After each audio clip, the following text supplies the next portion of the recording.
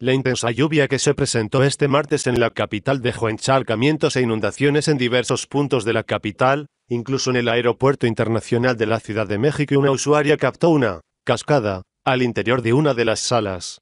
En el material difundido a través de redes sociales se observa personal del AIGN colocando algunos cartones para intentar dar solución a las inundaciones. Ante ello, el AIGM indicó a través de la misma red social que lamenta las afectaciones provocadas por la lluvia al interior de las instalaciones de ambas terminales aéreas y aseguró que ya han sido atendidas. Además, informó a partir de las 20:47 horas se reactivaron en su totalidad las actividades de aterrizaje y despegue.